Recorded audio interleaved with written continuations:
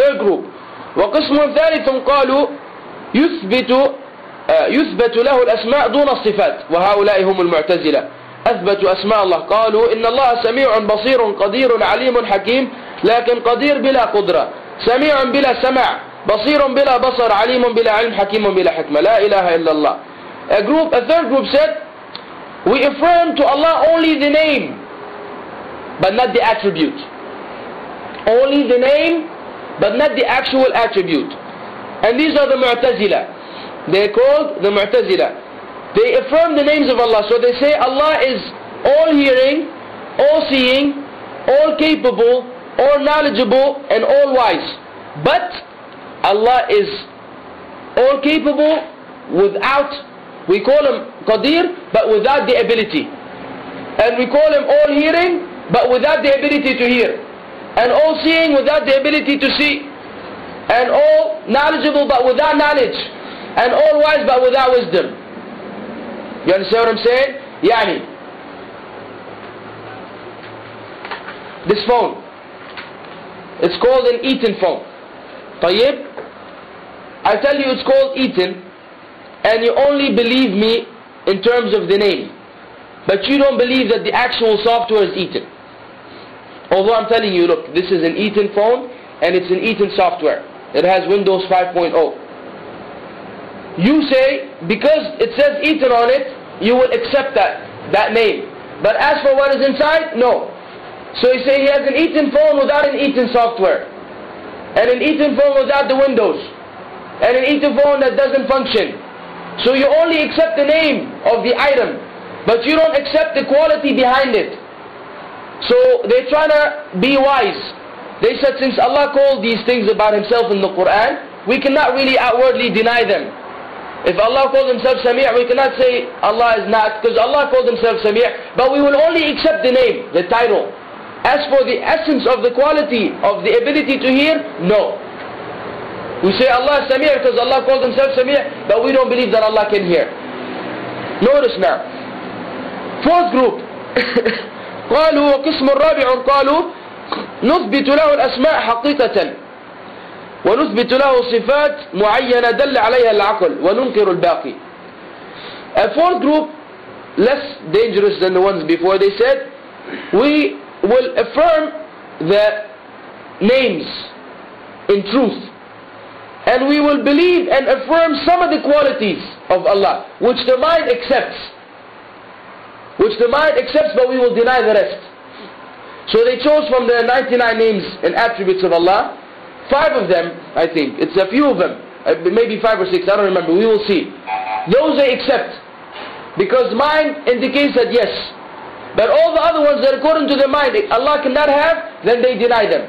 So they are like the ones before but they have extra five qualities that the ones before deny these people believe in these few qualities and they deny the rest and they only accepted these qualities because their intellect allowed them to, allowed them to do so والباقي ننكره تحريفا لا تكذيبا and the rest we will deny in terms of interpretation and twisting the meaning not by belying it because they know that if belie it they become kuffar لأنهم لو أنكروه تكذيبا كفروا لكن ينكروه تحريفا وهو ما يدعون أنه تأويل so they say uh, so they will deny the meaning but they will not reject it because they know if they reject it they, then they have disbelieved so they will deny it through twisting the meaning and this is what they call ta'wil interpretation meaning we will interpret the particular quality in this fashion trying to play around with the deen of Allah الصفات السبع هي مجموعة في قوله and they have a poet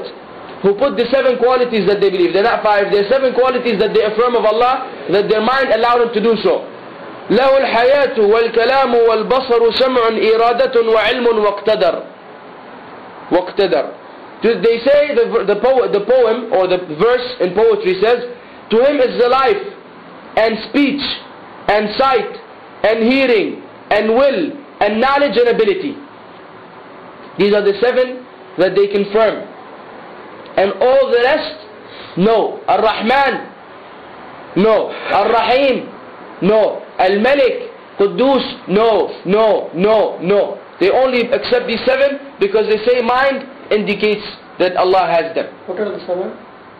Life, speech, sight, hearing, will, knowledge, and ability.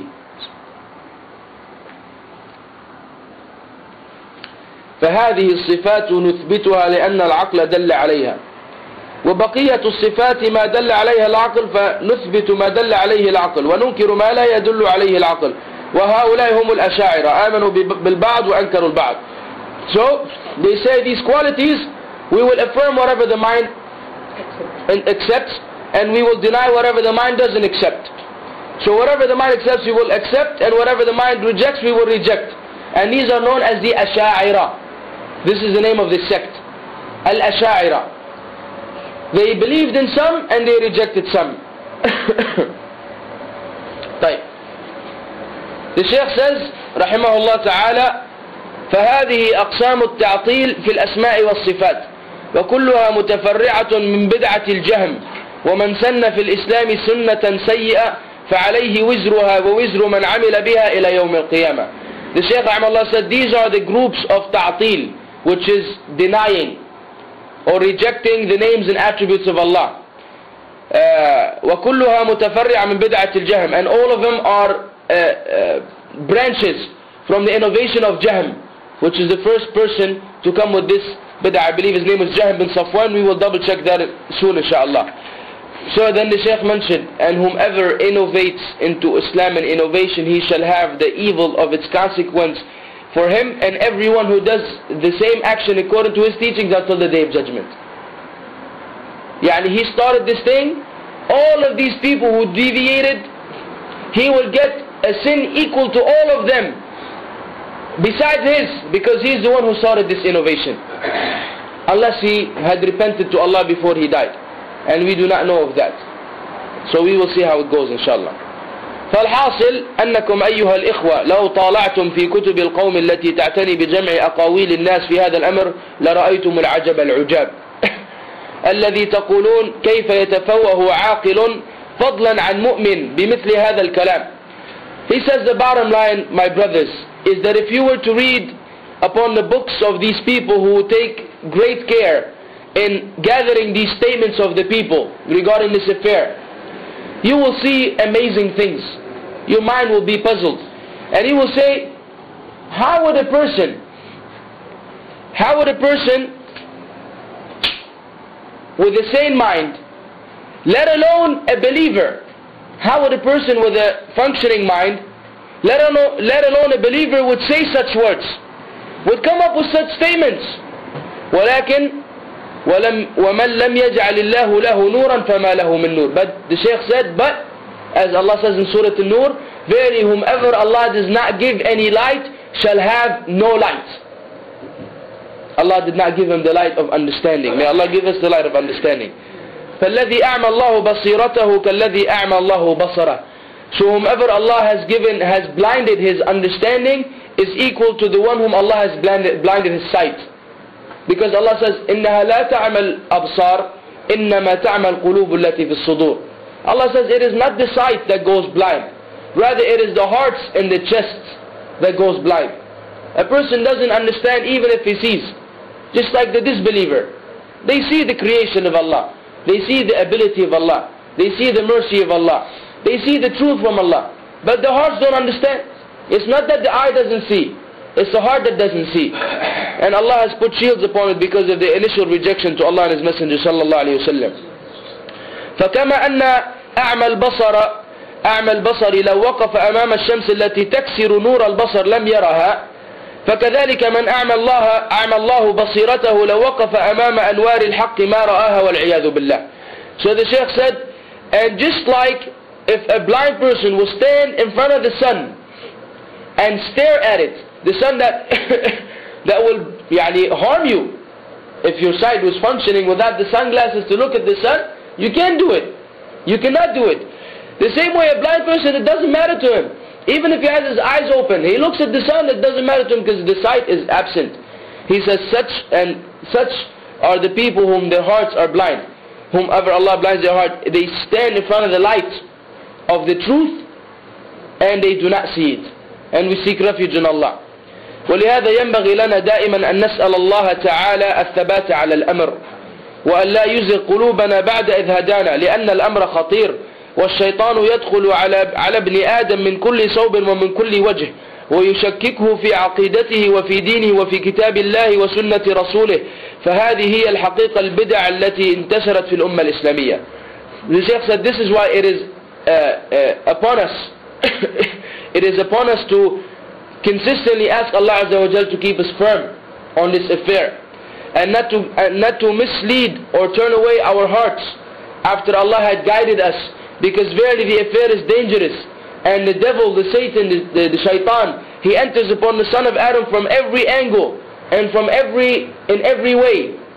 He keeps him trying he makes him doubt his own belief system and his own creed and he makes him doubt the book of his messenger the book of his Lord the book of Allah Azza wa Jal and the sunnah of his messenger sallallahu alayhi wasallam he says and verily this is the truth uh, about the innovation that has spread into the Muslim nation into Islam ولكن now this is the comforting part alhamdulillah ولكن ولله الحمد ما ابتدع أحد بدعة إلا قيض الله له بمنه وكرمه من يبين هذه البدعة ويدحضها بالحق وهذا من تمام مدلول قوله تبارك وقول الله تبارك وتعالى إنا نحن نزلنا الذكر وإنا له لحافظون But he said, but, and all praise is due to Allah, no person has ever innovated into Islam an innovation except that Allah has assigned someone through Allah's generosity and bounty that this person shall expose this innovation